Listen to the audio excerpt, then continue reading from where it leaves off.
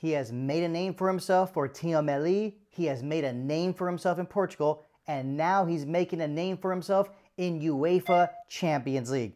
I'm obviously talking about Mehdi Taremi. And you know the deal. It's time for Team Melli Talk. He is taking names, winning awards, dominating the Primeira Liga, but today we're all about Porto's victory over Juventus in UEFA Champions League knockout stage action. And Mehdi Taremi got things started off in the second minute of play to put Porto in front 1-0. Talk about a perfect start. You know, I really don't know what Rodrigo Bentancur was thinking, but Juve goalkeeper Wojciech Szczęsny obviously was not very happy with this huge mistake that led to this goal from Mehdi Taremi.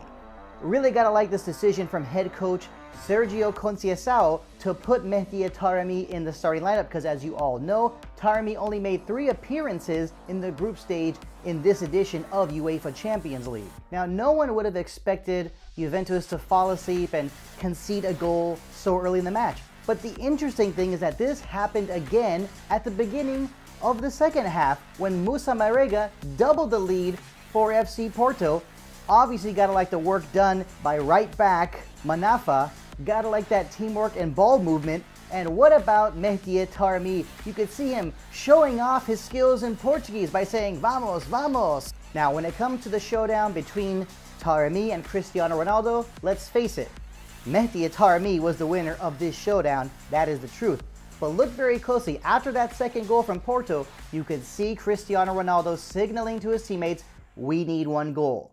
We need one goal. And that goal would come in the 82nd minute when Federico Chiesa finished off a cross from Adrien Rabiot. Now, Porto head coach Sergio Conceição surely could not have been happy with what he saw from his center backs and left back Sanusi. Okay, now for my two cents on this whole situation. I'm not trying to be negative, like plenty of other Iranian football fans that I know. But let's face it, even though Porto did come away with a 2-1 victory, it's obviously Juventus that has the momentum and is favored going into that final leg in Turin on the 9th of March.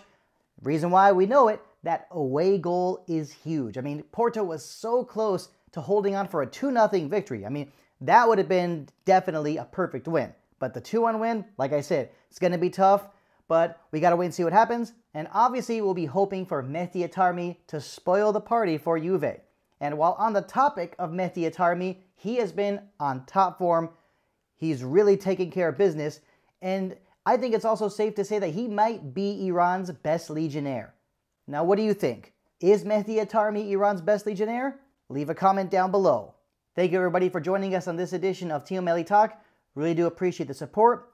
Get to our website, www.teammellitalk.com. Remember, this is your best source for the latest news on Team Melli, the national team of Iran. Don't forget to like, comment, share, subscribe, hit that notification button. See you on the next edition of Team Melli Talk.